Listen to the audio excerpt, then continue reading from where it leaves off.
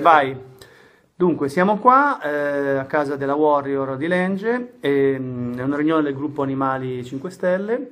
Ci giungono voci di medici che dicono a vegani che almeno nel post-operatorio Devono mangiare morti. devono mangiare animali O sugo di morte. o sugo di morte. Addirittura O secrezioni di morti. nonostante nell'ambito della nutrizione clinica sia iper raccomandato non mangiare grassi animali, ci giungono voci eh, in merito al fatto che eh, pazienti del reparto oncologico poi gli portano brodo di pollo a cena. No, Quindi- ditemi voi, quante cazzo di ore hanno studiato i medici eh, di nutrizione nel- Zero. in sei anni Zero. cazzate? Zero, infatti si Zero. vede.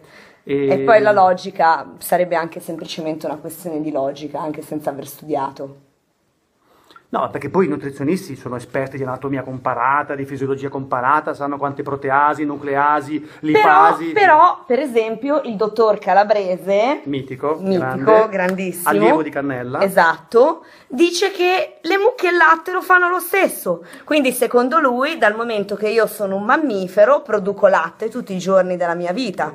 Cioè, lui dice che la mucca, anche se non è stuprata da- di- di- di- degli eroinomani, Il latte lo fa comunque. E cosa dobbiamo fare? Dobbiamo farle finire il latte? Questo ha detto il dottor Calabrese. come se fosse una, Dobbiamo bloccarle il latte. una balia, blocca- come le Esatto, bali che vanno esatto, all'infinito. Esatto. Del resto lui è allievo del grande Cannella, quello che diceva che eh, si può guarire dal tumore al colon solo mangiando la carne, no? E mese- che siamo fatti di carne, quindi dobbiamo mangiare la carne. Ah, quindi gli erbivori sono fatti di erba?